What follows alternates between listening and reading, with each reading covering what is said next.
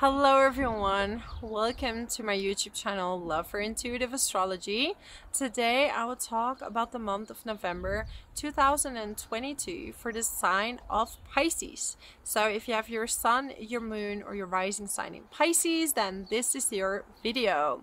So Pisces today I have a little bit of a different change of scenery. So I rented a house into the like in the middle of the mountains in a nature in Spain. Um, and usually I am filming from my apartment, so I hope it's working out fine. But let let's look at the month of November, which is gonna be kind of a it's almost like a dubious month. Like the beginning of the month is going to be a little bit hectic, but is forcing changes. And the second half of the month is really lovely. Like there's going to be a lot of wonderful changes and we're going to talk about that soon. So we had a solar eclipse uh, around the end of October, and we're gonna have this subject continuing until the 8th of November when we have this total full moon lunar eclipse in the sign of Taurus. And for you, Pisces, Taurus is in your third house, and third house has to do with everything uh, studying. This is your neighbors, your transport.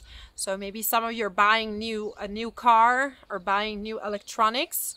Um, and you have the South Node in the ninth house in Scorpio. So you're letting go of a lot of old belief systems regarding to higher learning so it could be that you're like less focused on uh, spirituality and mindfulness and more on studying something new. Or if it is in the same subject, you're going to study something like uh, third house is a little bit more factual. So you're going to study something so you can earn money with the things that you really want to do and we have Jupiter at the same time back into your sign. So this is giving you an extra boost, uh, extra optimism for everything that you wish to do. Uh, unfortunately, we do leave Chiron by on its own in the second house, so be aware of your money.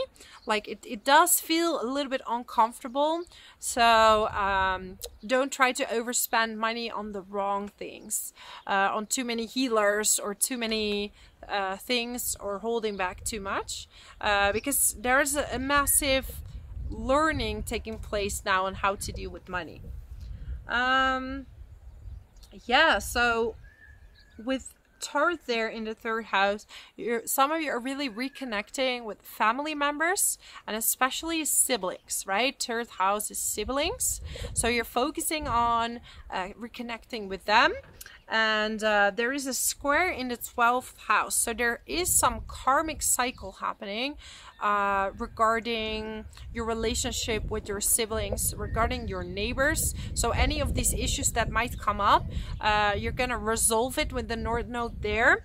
And the ninth house maybe in the past you were running away from certain um, situations you would travel far away, you would run away, but now you're gonna face it hands on and you're going to really, um, yeah, really face these issues and resolve it.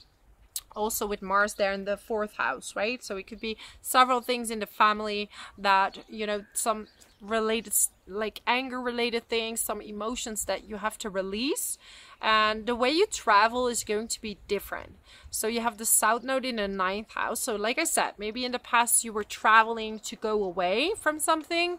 Uh, but now you're going to travel to connect, to connect to yourself, uh, to learn new things. So you're going to travel in different ways. You're going to travel uh, yeah, maybe you're going to travel more to learn about how to deal with finances, like doing workshops in a different country. Um, yeah, revisiting a place where you've been to really understand uh, what it is that you can still learn. And there's just going to be a lot of optimism, especially towards the second part of the month.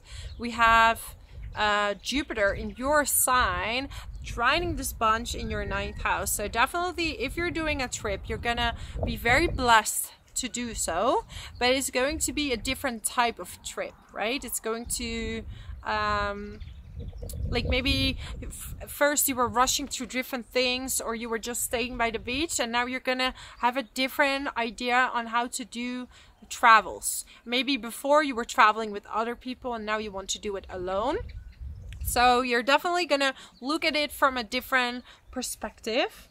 And we're gonna have a new moon in Sagittarius as well. And this will happen by the end of the month on the 23rd of November.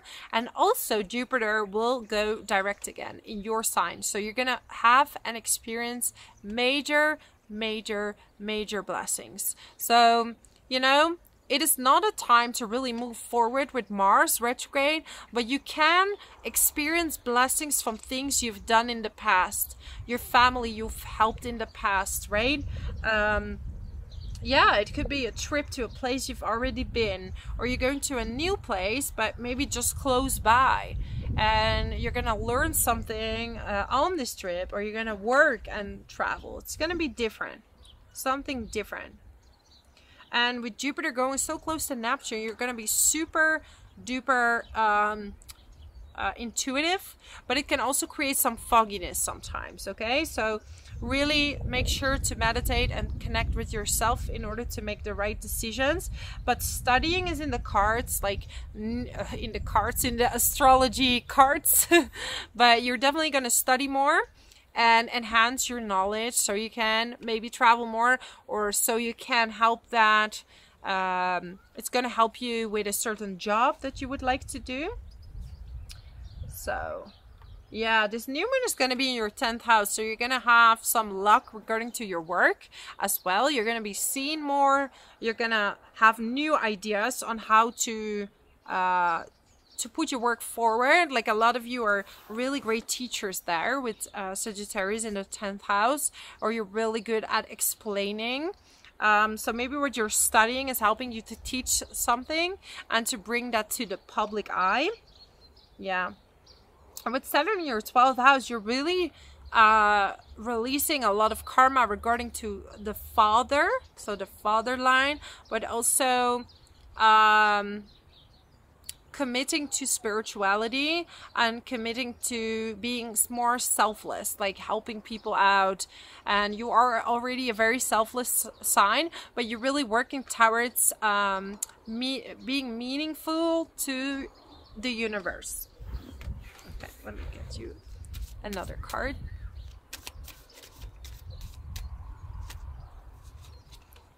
Higher education okay so we're gonna you're gonna combine your higher education so your intuition with your earthly studies so to speak. Steady progress so you know maybe you want things to happen a bit faster but you're gonna get the blessings that you want and especially towards the end of the month it's gonna be great. So stress management and sleep it's gonna be really busy. You're gonna experience a really busy time so make sure to sleep well. And with saturn in the 12th house some of you do have a bit of sleeping issues so maybe you could do some yoga or like martial arts to have a better energy flow and you will sleep a bit better.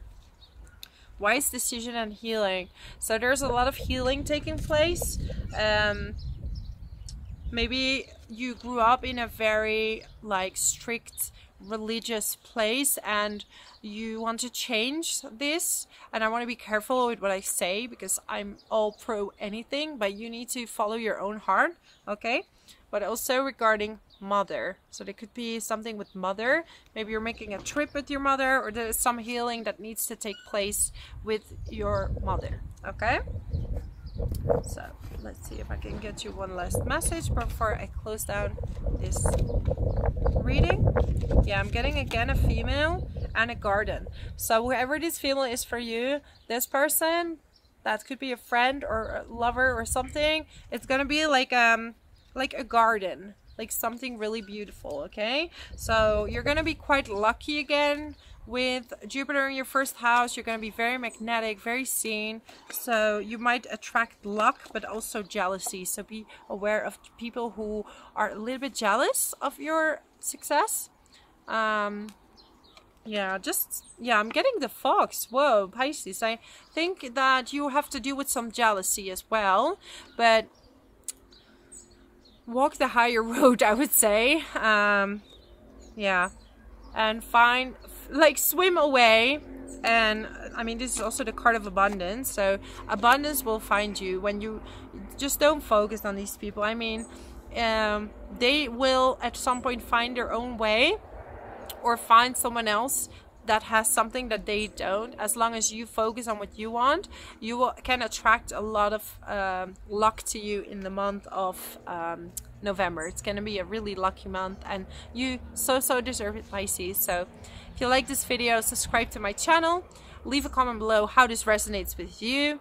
Maybe at 5,000 subscribers, I will also do some free reading giveaway or something like this. But if you're like, I want to have a reading with you, you can also find my details in the description box below.